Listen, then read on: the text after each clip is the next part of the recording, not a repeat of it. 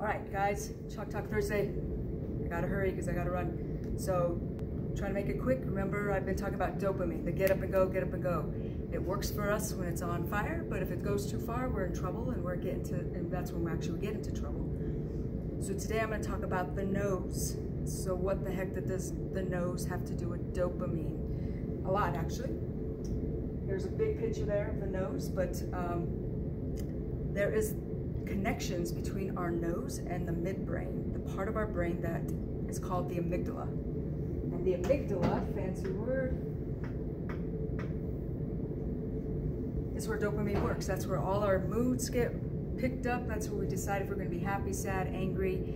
Um, that's how we respond to people, if it's going to be appropriate or inappropriate. And dopamine actually has a little play in that.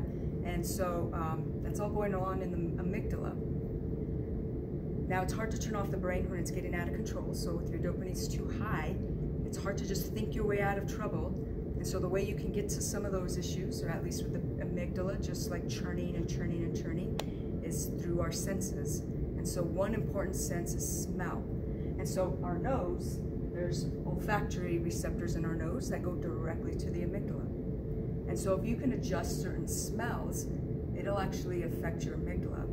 They've done some studies on these. They found that there's certain smells that do a better job at trying to calm down your amygdala.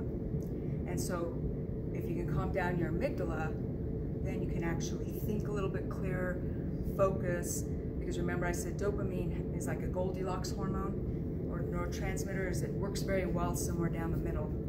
And so what we're trying to do is if you're feeling a little too edgy, is try and pull that dopamine down a little further so we can focus and concentrate and actually learn. You actually have to, you only learn when you're down the middle. So what I do and what I've done studying with all the stuff that I have to throw in my head is I, I commonly put smells and I trained my brain with certain smells. And so a couple of smells that I like are my favorite, Brazilian orange and rosemary. And the reason why I like those is because they stimulate my brain. I've trained it to stimulate my brain, and actually they are noted to help with focus. The common one that people talk about is lavender. It's not so much focus as, it is for calming, um, but I don't like the smell of lavender. It just sort of smells like you're trying to cover up something bad. So orange and rosemary actually, on the other hand, smells really sparky. And every time my patients run and walk into the clinic, they can smell it, even with their masks. They always say, smells good in here.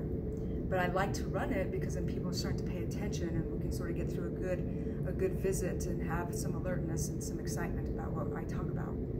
So, put some smell on your olfactory nerve, and if it's the rosemary and lavender, it actually can help your brain. And so that's why we associate um, a lot of memories with smell, um, but you can actually use that in your advantage to try and get some focus going on and. So that's how you can take care of some of those high-end dopamine issues, and also just to try and help, you know, with overall mood. So that's Chalk Talk Tuesday, Thursdays. We'll catch up next week.